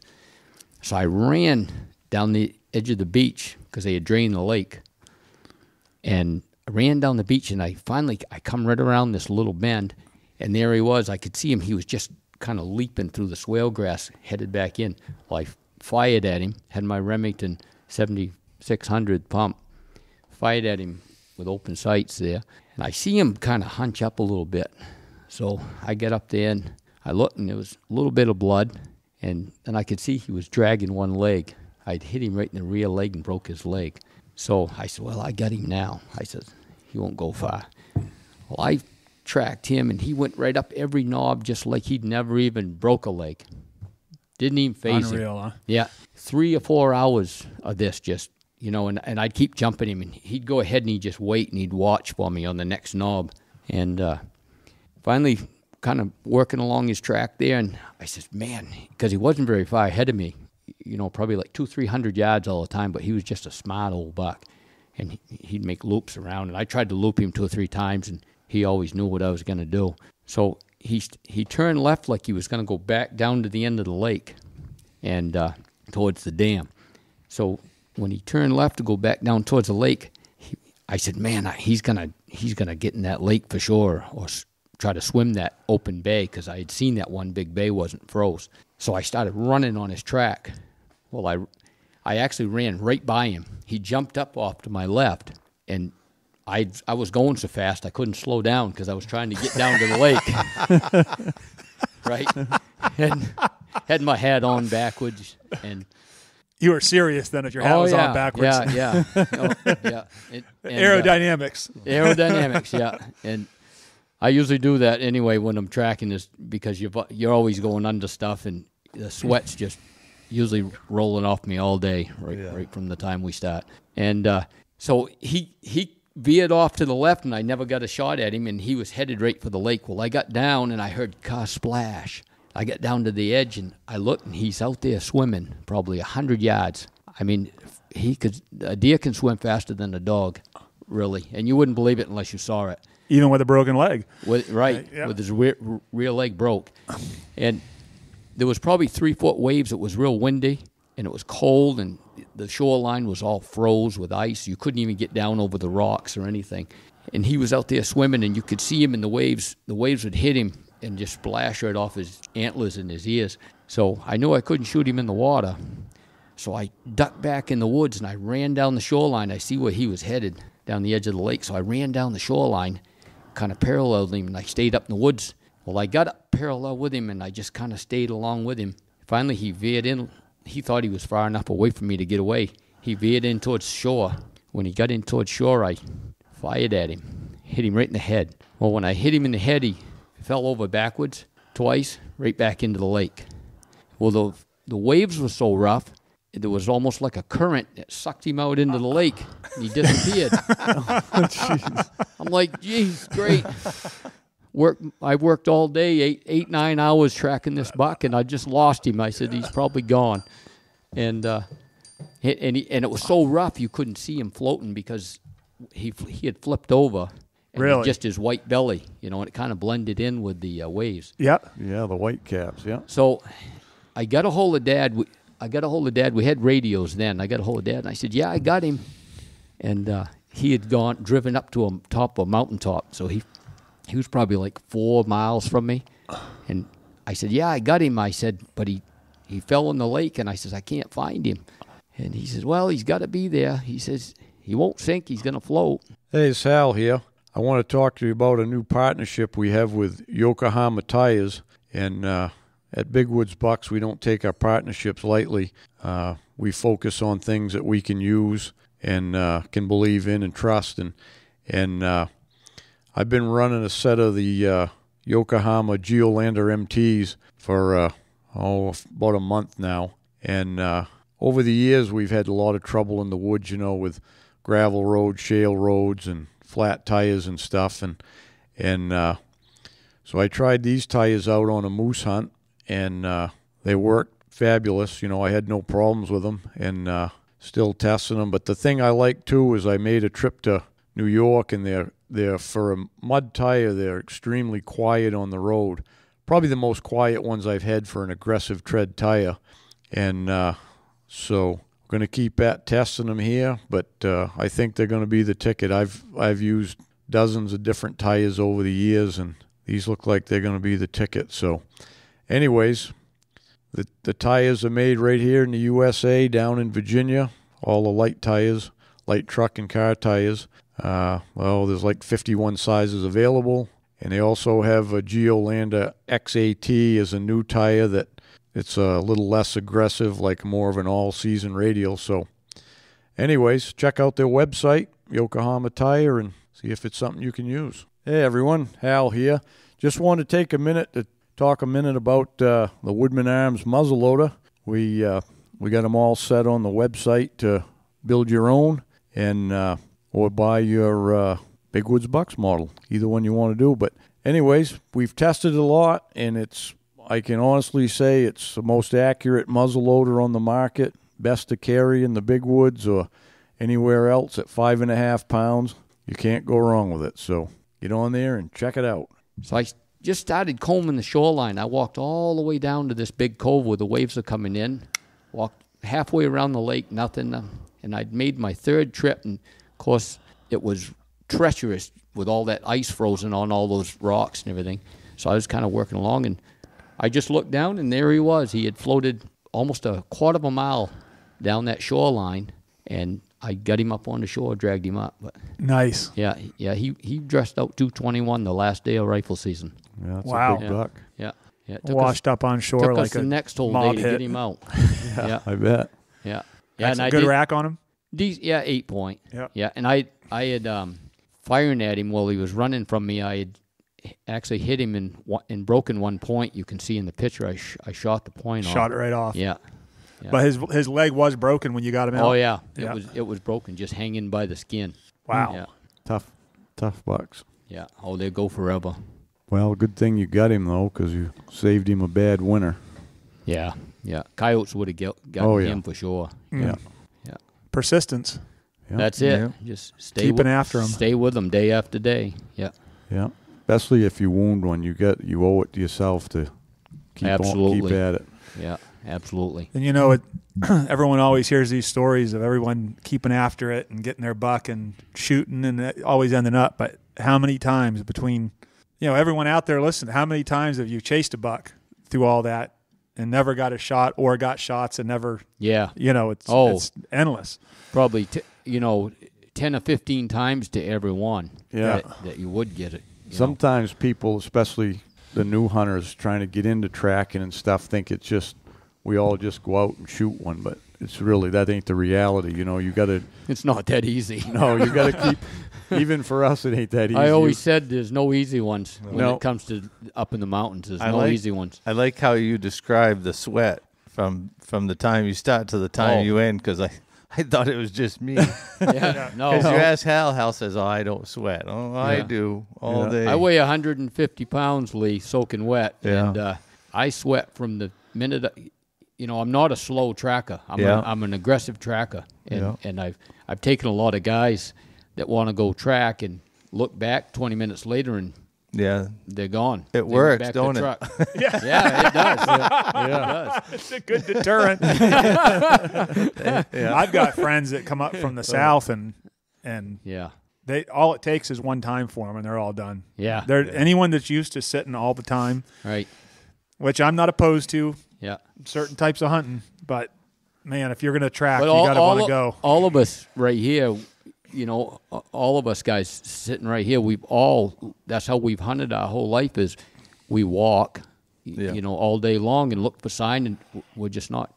I mean, don't get me wrong. I've done my share of tree stand hunting in different places and, Yeah. you, you know, when the weather's not right, but it's usually the last half hour or hour in the evening, sit down or something. And it's according to where you are too. I mean, some Yeah, places are just not conducive to walking around or, Ex- yeah. you know, so, but up here, yeah, it's sitting is, sitting is effective, Yeah, but Yeah. Yeah, we had lots just of so- guys get bucks sitting over the years guiding. Yeah. Sometimes it's easier if they're patient to do that. It's it's their best best chance if they're used to sitting. You know, I was talking about that. We'd mentioned it before. That big one that young fella got way back when we first started doing them remote hunts there. That had that tall eight point rack there. Tall that, was eight a, point. that was a beauty. Yeah, You seen Yeah. that one? Oh, Oh, my god. Man, that was a nice deer. Yeah, that thing grossed like 184 or something. You know, Yeah. Crazy. but um, Too bad we didn't have more like that. yeah, I know. Yeah. Yeah. So, anyway, Hal's it- got one like that. I do. I Chained got up it- somewhere. I haven't got him yet. Chained up. Well, I was going to say you've got one on your mind like that, but Yeah, We all got one on our mind. Yeah. Yeah. Yeah. yeah. But uh, that guy said he could sit, so I put him in there and he sat. You know, luckily he got it the first day, but it's just what it is. You got to have some patience if you're going to sit. Yeah. that was just a rub line you saw in there where he had it all tore up, wasn't it? Yeah, it was a. It went down through this. I found it. I found it the week before, and it was a. I found this brown ash spot, and it was all rubbed up, and uh, there was two trails. It was down in some you know low ground there, where a lot of times in that low stuff you can see trails they've Oh, used yeah. for years, you know. And there was two trails that that cross paths right there. It was like an intersection, you know, and so I just look kind of looked it all over, and then I I went up the trails, and when I went up one about I don't know thirty yards from the intersection, there was a uh, a big what I call them annual scrapes made every year. It was like eight Ta- in, eight yeah. inches deep, you know, Yeah. right under a spruce Size tree. of a hood of a pickup. Yeah, Yeah. You can see. I'm like that thing is there all the time. So I said, well, combination of this, this bucks traveling here, you know. So I set him on a stone. There was a boulder there with a bunch of little fir trees growing on it. It was about I don't know six or eight feet high, and he shinnied up on that and, and uh, shot him at eleven o'clock the first day. But I did have a guy there the week before for two days, but he'd come out for lunch every day. He'd go in. That's a, for way back in. Yeah. For sitting uh, like Dad and I hunted Saskatchewan for years, ten to two. Yeah. You kill all your big bucks. Yeah. Ten Yeah. to two. He shot that one at Yeah. uh, I think it was eleven thirty. He Yeah. shot that buck. Yeah. Yeah, It is funny how people put our schedule onto deer. Yeah. Yeah. You Yeah. know, and and there's like this this idea that, I mean, morning and evenings are active times for deer, but Yeah. especially this time of year, all bets are off. Yeah. You know, Yeah. I mean, anytime they're going to come through. So I always figured they if they're running all night, they're tired and they lay down around daylight or something, and Exactly. by ten o'clock they're ready Right. to go again. Yeah. They got rested up and Yeah. they get up and head out again. You know. Yep. Yeah. Lanny Benoit told me that first time I ever met him. You know, I was pumping him full of questions there. He picked me up on a tote road Yeah. out back of Addy and then I said, "When do you shoot most of your bucks?" He said, "Well," he said, "Time you get on a track and you know s- start following it." And he said, "You'll kind of come to his bed." He said, "About nine, ten o'clock." He and he said he just got up. And he says, "You shoot most of them right in the middle of the day." Hmm. Yeah, Yep. You know, and I look back now, and probably ninety percent of them all the middle of the day. Yeah. Yeah. I don't think I've ever shot anything early or late. No, all me day, either. every day. Real early or real late, nothing. Exactly. Unless I was, you know, on a track and had wounded one or, or something. why the hell have we been getting up so early all these years? Yeah. I'm sleeping in. Hey, the last the last five years we went to Saskatchewan, everybody get up at four a.m. and and go hunt, and Dad would say, "Nope." He said he told the guide, "Come back, pick me up at 8. and he says, "I'll go to my stand." And two different years in a row, he shot the biggest buck out of the camp. no kidding. Yeah, and he only hunted like four hours a day. Yeah. Yeah. He says after two o'clock, there's nothing. You know, but we've been doing it for 25 years. Right. Yeah. Yeah. Hey, you. So you had said when we talked about you know sweating all day. Yeah. And when I come up to see you the other day, remember we got talking about um, how a, a buck will get going along and they get that gait going and they just go and go and go. Oh yeah. They're All, like an ever ready bunny. yeah. Yeah. They go all day. Yeah. And if you don't pick the pace up, Yeah. you'll never catch them. Right. You know, so and a lot of guys will go in and they're they're still hunting a, a track. Track. Yeah. They're, And, they're they, and hunting they say, "Well, I never caught up with that buck." Well, they hunt like Elmer Fudd. Remember the guy? Gonna find that rascally I take offense to that, Hal. I still can't get over the guy in, at the sports. You don't hunt show that way, do you, Joe? No, God, no. The I guy, hunt too fast, probably. The guy at the slow down. sportsman show said to me one Yeah. day, he says, "If a buck doesn't do what I want it to do in the first 200 yards, I go back to the truck and find another one." Like, Perfect. Yeah. Doesn't do what I want it to do. yeah. Yeah. Oh, yeah. shit. He hit a guy like that had a lot of uh, adrenaline. Yeah. Uh, Yeah, he had a lot of something. it wasn't gumption, I can tell you that. Yeah. yeah. Uh, yeah, so you got to you get on them tracks in the morning. You got to make your time up then. That's when you got to just Yeah. Exactly. And I got to Per- I don't run. I don't. I mean, I I Well, go right along. but- Sometimes I'll run it like if I jump one, a- Yeah. and I'm thinking, I kind of second guess where he's going to go next, and if there's an opening or, or a tote road or Oh, yeah, run or, or the edge of a bluff or something, I'll, I'll just make a split decision. And I mean, there's a lot of bucks I've killed over the years just making a split Yeah. decision like that, split second, just There it is. and, that, and Yep. that's just Go experience, Right. you know. yeah. The Jump last Yeah. last day last year, it was the last day of black powder. So it was the last day of the season last year. Uh, I did that, and I took the track up. I waited for daylight. I found the track crossing the road. Waited for daylight. Threw on my snowshoes, and he was down there hundred yards in the woods, bedded. You know, I just I never expected to jump him that quick. You know, Yeah. he was right there. You never know. Yeah. You don't. But the tracks were going the way I wanted them to, so I stayed on it. Yeah. I did that snowshoe thing with a client once. I don't think Hal was so happy, but it almost worked. we got close. Yeah. Yeah. yeah. it's tough on snowshoes. It's just it's such a big footprint. Yeah. Yeah. We went into a spot on a snowmobile and had gone all the way in, and he didn't act real anxious. And I kind of told him, I says, if we don't cut a buck track, then uh, we won't waste too much time. And we came back out, and by Jesus, the buck had crossed that snowmobile track, and I'm like, all right, buddy, here we go. Yeah, this is pretty fresh. So I drove down that road a mile. I actually put his snowshoes on for him because he never had them Oh, on. Nice. And I, I, could I could see you two out there and you tied doing his laces for him and everything. Did you give him a kiss after too? Tell him to have a good day. Give him this little bag lunch. I hate it when you show your jealous side. anyways, anyways, we never, headed up he's over never this gonna mountain. help you put your snowshoes. No, on. never. Never. Get up, get up. Anyways, we got up to the top and I see this. It's like a five pointer, or a little six pointer basket rack thing. And he's just walking out of sight. And I says, right there, shoot him. And he pulled his gun up and the deer just disappeared into the green growth and he was gone. And I said, geez, I think we can cut him off if we kind of circle up around. He's like, these snowshoes aren't as easy as they look. and that was it. That was my sign. He Yeah. was done. He was done. Yeah. Yeah. So, you know, that was the only time we ever had a client on snowshoes that I know of. Mine, anyways. I think I only tried that one time, way back in the '80s. There, we'd gone. We used to go to New Brunswick for a week, and their last week of the season was like the week before Thanksgiving. So we'd go up there then. And when we were up there, we got a big snowstorm up there. It was like one of them big northeasters. It got over two feet of snow and drifts. Yeah. Well, we- going. Yeah, and they got it here too. I can't. It was in the '80s, mid '80s or something. And uh, well, I had my, I had my hunting camp, the the old mobile home we used to have for a hunting camp back in the woods up here, because we were going to hunt Thanksgiving week. And uh, so we got back from that, and then Sunday we headed up here.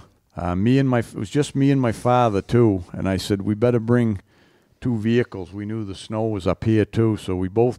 I had my back then. It was a. We both had short bed Dodge pickups, but mine had the lift kit and stuff like my Ramcharger. And we headed in. Was back into all the brook in there, and the snow was deep. We was pushing it right along with the bumper there, and it wasn't broke out. Some of the hills. One of us would go as far as they could go, and then back up off a little bit, and the other one would go. We broke that road all the way in there. I don't. It took us all day to get in there buried in there. And I'm like, I'm, all I'm thinking about is how the heck we ever going to get the camper out of there, you know? But anyways, it started raining that night. Yeah, it was two feet of snow and it started raining on it. Oh. And it rained, and the first day was soft, you know, it was soft and stuff. and then it froze up tight and not enough to hold you. You know, one of them crusts, and I'm Oh like, yeah, boy, this is going to be bad for everybody. The deer for us. So everybody. Yeah. I had brought snowshoes and I tried it, but I went one day like that with the snowshoes and stuff, and I said, this they, ain't going They to could work. hear you either. a half a mile. Oh yeah, I tried it, and and back then that's back when the, the coyotes were getting thick in there, and every deer track you come to had a, one or two coyotes on it, and that's I think that was the year I decided to get out of there. You know, we weren't gonna.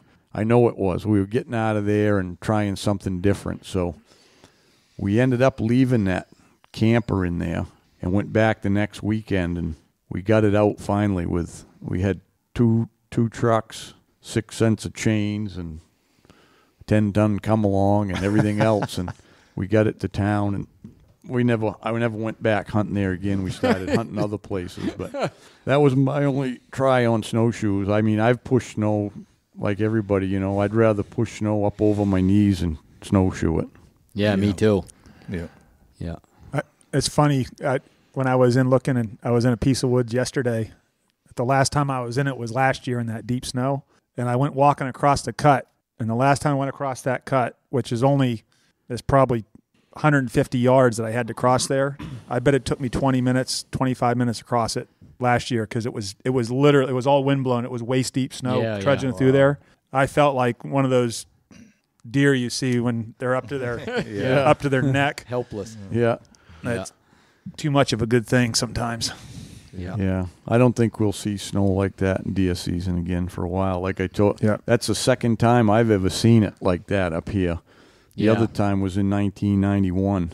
It started like that. Yeah, we of- hunted our snowmobile that year. We had so much. Yeah, I had to get that buck I shot out on the the back side of the mountain there by snowmobile, and it was. I that's the one I tell about. I I didn't know if I was going to find it. It snowed so much in the night, everything was laid down, and Right. Yeah, we had to go with uh, Tommy Drew helped me when it was snow machines. And we finally I found it and we got it out of there. Old But, uh, Tommy or young Tommy? Young Tom. Young yeah, Tom. Yeah. Yeah, yeah. Yeah. We had to wait for him to. Uh, we had before we could even get into Kelly Dam Road. We had to wait for the road grader to come. And when the road grader went down through the snowbanks, were five six feet high. Wow. And that was the that was the end of the second week. Oh wow. That Yeah. shortens up the tracking. Yeah, they were filing. Yeah. They were filing out of there because the next week was that was the that was the year I met Chris. Chris and Marcus come up, Oh, and yeah. I had them the next week, and uh, Huh. it was uh, it was buried right up. You know, the mountains were worse. You know, north of town was way more. That was back though when we had yards uh, everywhere out through Yeah. the woods. Yeah. Yeah, they still come to. They was still. They didn't come all the way around town like they did, but there was still that deer yard on the north side behind Tommy Drew's Right. parents' house there. Yeah. He said that started in in the in '75. About there was a few deer stayed, Yeah. and that's how that developed. But Yeah. they used to yard all the way up to like Little Big Wood and all that. And uh, but them guys killed him and his family. They killed like five nice bucks there the third week. They were all following them does right down into Right into Yeah. the yard. Yeah. yeah, Yeah. right down in, and they Single were get, file. they were Yeah. getting closer to town where the snow wasn't it wasn't nearly as deep when you got you know down around town. It never is, but yeah. So hopefully it's another twenty years or so before we see it again. Uh, I don't Yeah. mind. Yeah, I wouldn't say hopefully. It's better than Well, that much snow. I mean, Oh, yeah, yeah. I don't. That, I looked Yeah. on uh, um, website. The guy I used to go in Saskatchewan last night, and he had a pretty big buck on there, and, and uh, it looked like a foot of snow up there already. Yeah. really. Yeah, yeah. it's so right on the other side of the St. Lawrence. It keeps. They they're going to keep have getting a them. tough winter, I think. You ever track up there? Yep. where was that at? Saskatchewan. Saskatchewan. Yeah. Yeah, yeah, yeah, yeah. It's it's it's tough tracking up there though because it's it's uh what I want. It's kind of like Alaska. They've got so much under. It's all this hardwood underbrush. You know, it's um, willows and and everything, and they've grown in so tight, and, and the deer basically can put their head down and, and go through all this stuff, and you spend fifty percent of your time on your knees. Yeah. Yeah, Oh, and yeah. And it's it's wet- familiar with that. Huh? He said he's familiar with that. I ain't the one with a hole in my uh, knees. this is eh. a kid. Hey, hey, family friendly. Back What- off. Back off. Too far. There must be more. There's a lot of deer tracks too to get A tangled. in lot there. of deer tracks, yeah. That Yeah. was the trouble in Ontario when we first started Yeah. going. You get on, you get on a buck track. Next thing you know, you got three the same size, all in the same track. right, You, know? all on the same trail. you never knew if you were s- back on the same one or not. Yeah. Yeah. Montana was like that too. Really, yeah. I never hunted Montana. Yeah, out where we hunt out in the western part in the mountains, it's kind of like hunting here. It's mountains, but they're Yeah. just a little bigger. Right. and the big bucks stay stay higher up. That's where they live all summer. But the snow gets up there first. Just like a mule deer. Mule yeah, deer, the big- more snow they get, high. it starts bringing them down. So Yeah. sometimes it'll be still like almost bare ground in the valley, or maybe an inch or two, and you try to go up high and it's two feet. Yeah. So what happens? It drives them down, and when it does, they get thick down in the bottom. And I mean, it's it's ridiculous, really, Yeah. trying to track. I mean, if you got you know a freshened up snow, it's all right. But once you go through a day or two with no snow, Yeah. Yeah. it's almost impossible. You can pick along. You're almost still hunting the tracks, is what you're doing. yeah. You can't make enough time. You're always trying to sort it out and figure it out. And, but you can also bump into other ones while you're doing it, so it makes it pretty good. Did you ever? I know you were gonna. Um, you were getting the onX app. Did you ever end up? I yeah, I do have the use- onX. Did you use it when you were out west? I no, I didn't have it then. Oh, y- okay. No, no, Yeah. I didn't have it then. But I've used it. I've used it quite a bit, just scouting around Yeah. down here, and I like it. It- It works. Do you have the whole good. um, satellite image on your Yeah. phone now? Yeah, yeah. I do. Yeah, I, That is handy, ain't it? I upgraded to the premium. Yeah. Nice. It's, it's worth it yeah, because it, it gives you everything. Gives you the overlays, it, all the topos.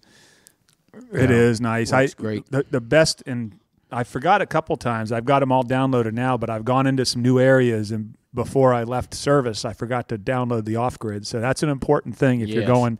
Make sure, and Make I sure you download it. Right. I do the five mile squares because it's it's more resolution, and obviously you want the most resolution you can get. So I'd rather just take up the memory in my phone and and do Yeah. that. So, but it's uh, I'll get into a spot and I'll now I've I've become where I really like using it. You know, I'll pull it out a lot, and then it's uh, well, you can get look at a- you if you hunt an unfamiliar spot. You can look at the terrain yeah. ahead of you. It's just like being in your plane. right. You know.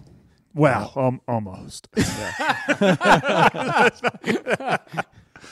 Oh, hey, I like it. You can tell the difference in the the hardwood and the softwood too. You know, Yeah, exactly. Enough different colors so you can yeah.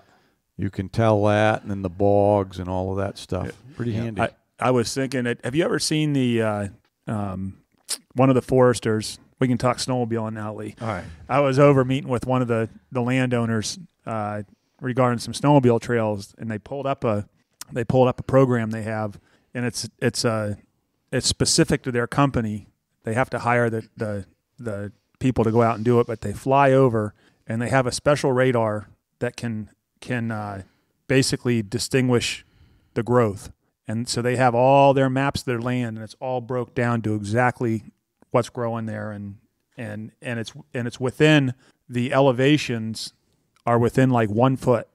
Wow. so it shows That's every, pretty and they can turn it 3D, and it shows every single little That's valley cool. and Yeah. and Hmm. oh, is it? It's really nice, but I'm sure it's pretty pricey doing. You know, they do just their land, but yeah. it was pretty cool looking at it. So maybe onX can get that on there. yeah. That'd be slick. Pretty good. yeah. Yeah, it is. Theirs like is it. real accurate. The, Yeah. the topo stuff is Yeah. especially. I used to use my, you know, download the the state maps in my GPS, and like Wyoming, you buy a hunt chip, and it shows all your trails, all your horse trails, all the all the core, you know, all the elevation lines. It's just three Yeah. three dimensional, and I mean, and now onX does that. now onX has got it, and I mean, it, it's just Yeah. awesome. Yeah, onX actually gives you what I like about onX though is it gives you that you know three Google Earth 3D. So whereas the, the GPS, you just get the topo. Right. Right. And, and Then uh, it tells you your land More y- detailed, Your yeah. landowner is important out west because Right. you can't yeah, very important. go yeah. on private land out there without permission. I guess. Without permission. Yeah. Yeah. So Yeah. well, we wanted to give a little uh, special, uh, special, special shout out here to uh, Nolan Nowinski. Nolan Nowinski. You know who that is, Hal? I don't know him, but I know he's over in Afghanistan somewhere listening to our podcast and till he falls asleep at night. So we Yeah. Appreciate that. Yeah, Right. it, it's uh, Nolan's from Wisconsin and just sent us a nice email. It's Yeah. nice nice to hear when you got people on the other side of the world that are dealing with.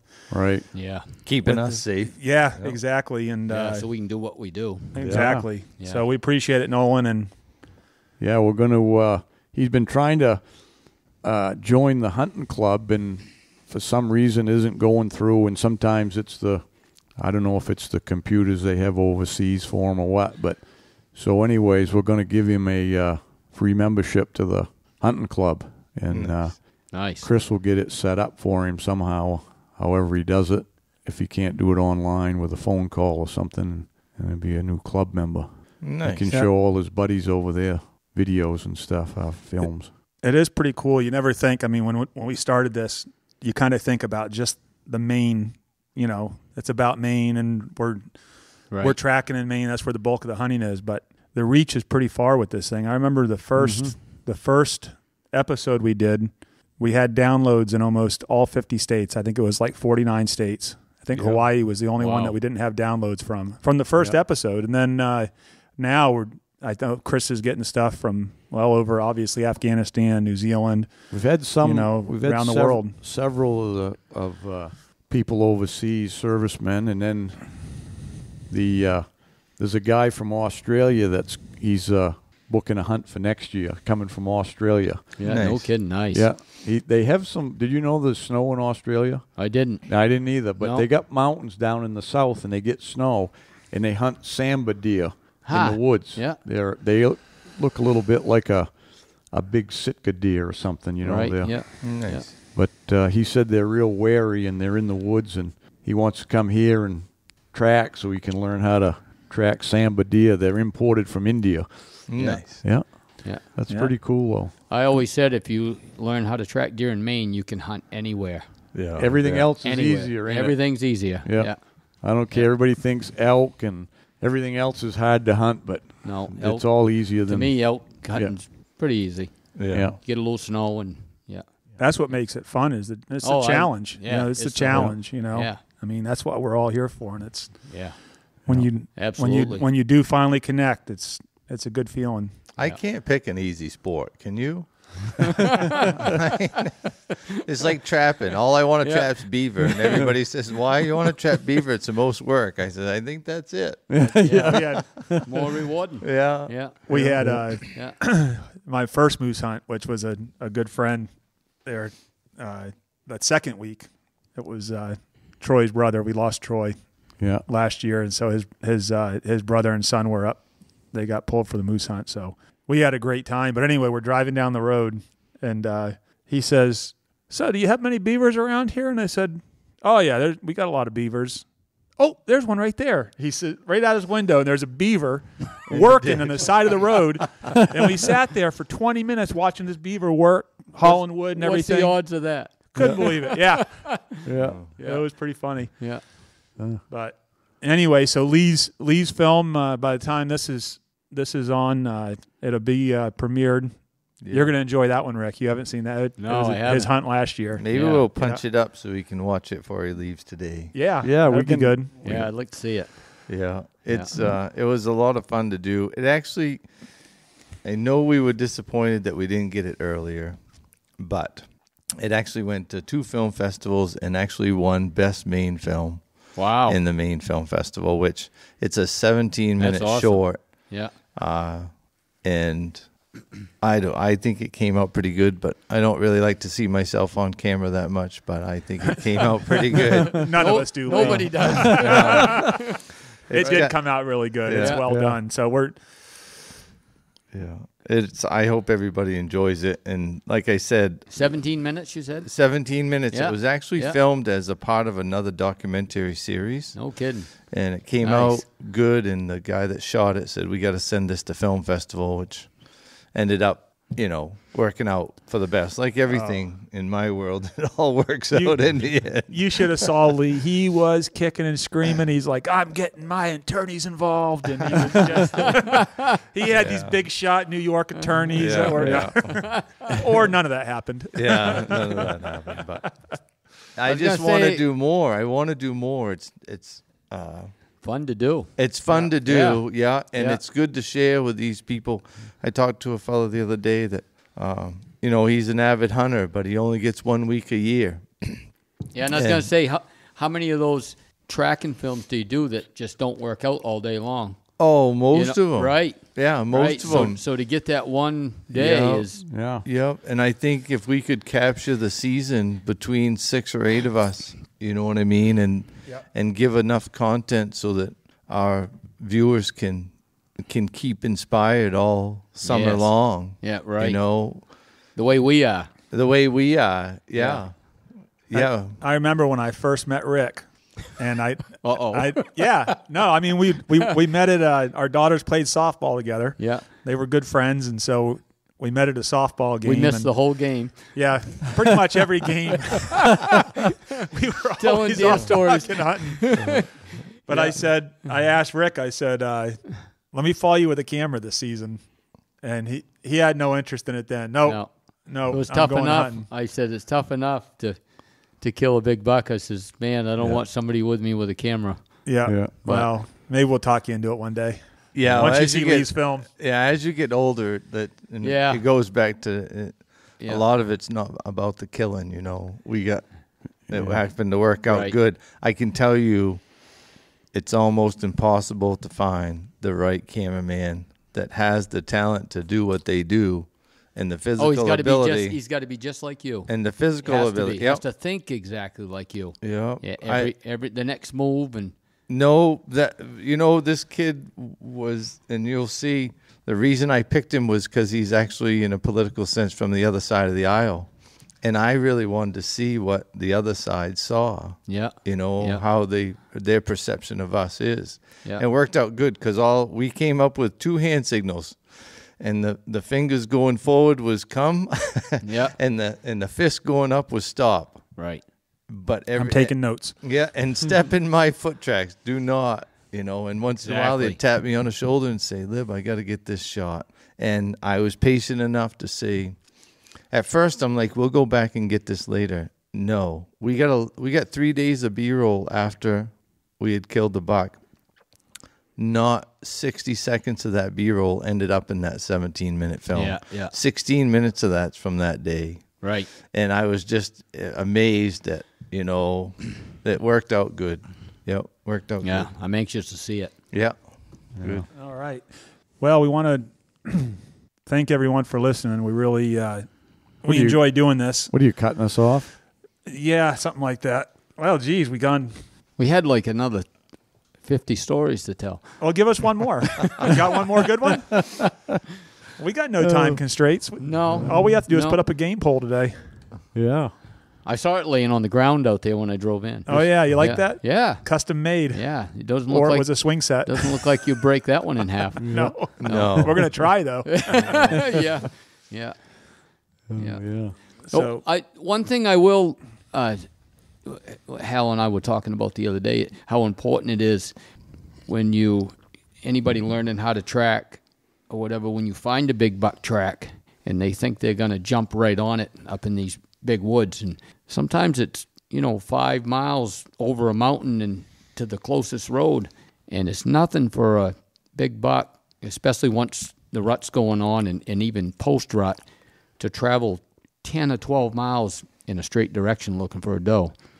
So, you know, I've always, and, and I learned this probably from the time I was a cat hunter and uh, hunting with Dick Drysdale when I was like eight years old. We'd always put our initials in the track. Well, any other hunter usually respects that.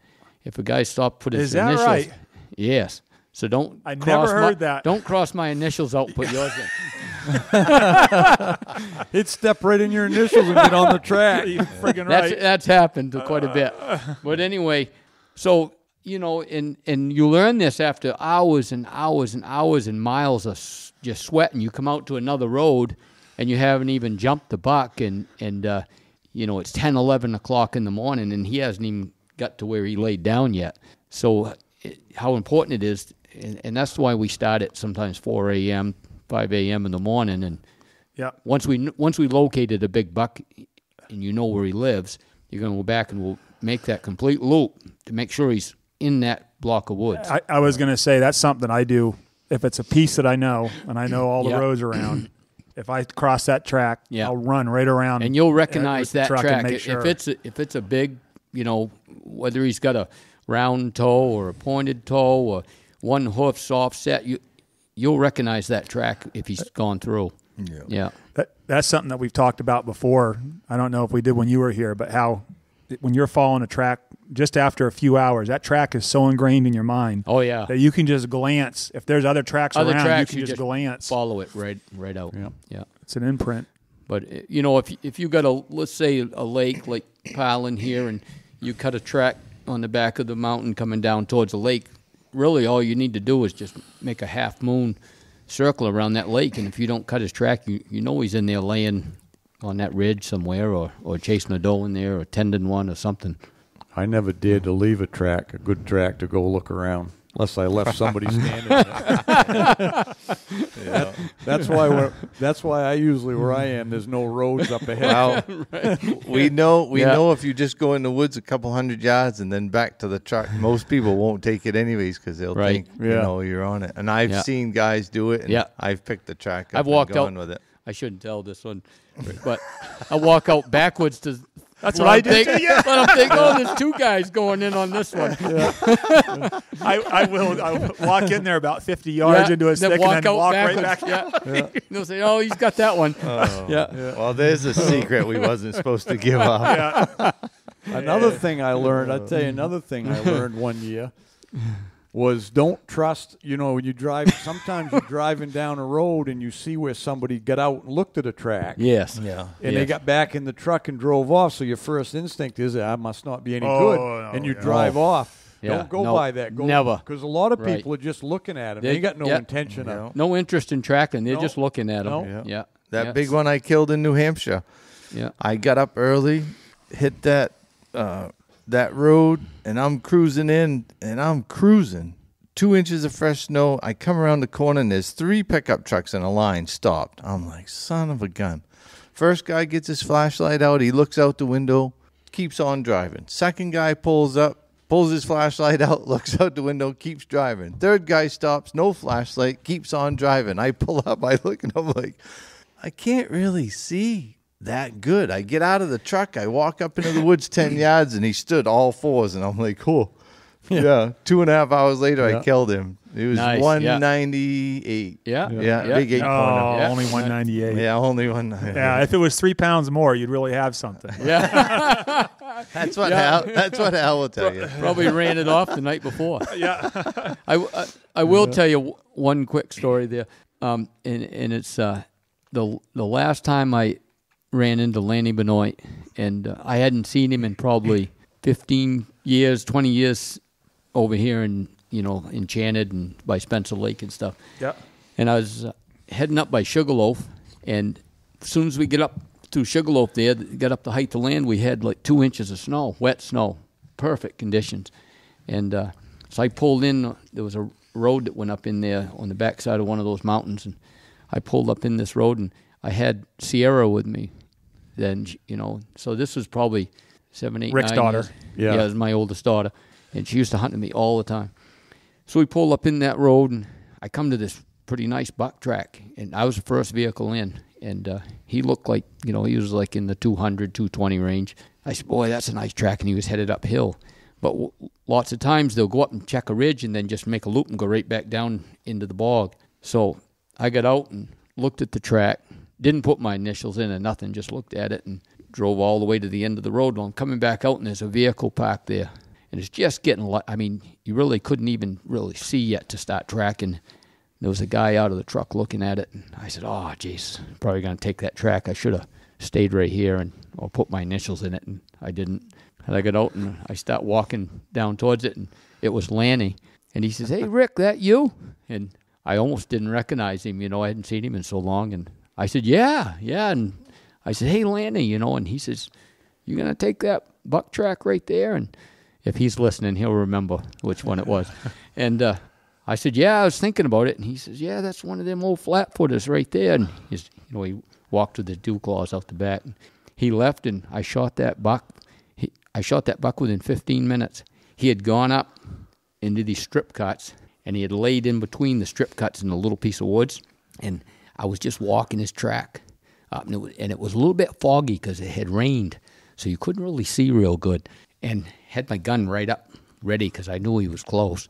And he jumped up and he ran away from me towards the other strip cut. So I just ran as fast as I could. And they were probably, what, 50, 75 feet they'll leave in between those strips. I ran right to that outside edge of that cut and just swung my rifle to my shoulder. And he made his first jump right into it. And I fired, pow. Worked my way up there. And I didn't know if I hit him or not. I worked my way up there and he had landed right into the woods, stone dead, right on the other No side. kidding. Yeah, yeah, yeah. Mm. What did it weigh? 209. Nice. Yeah, yeah, that was an eight pointer. Yeah. A lot of eight pointers. So what I get from this story, this whole discussion is every track I get on, I'm putting a RL.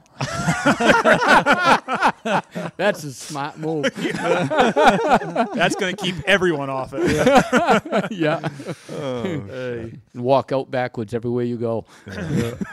Well, this is it. We wait all year for uh, Yeah. what's starting here in a couple days. I'm pretty excited about it. All this talk, even though I can't hunt till black powder. We need some white stuff.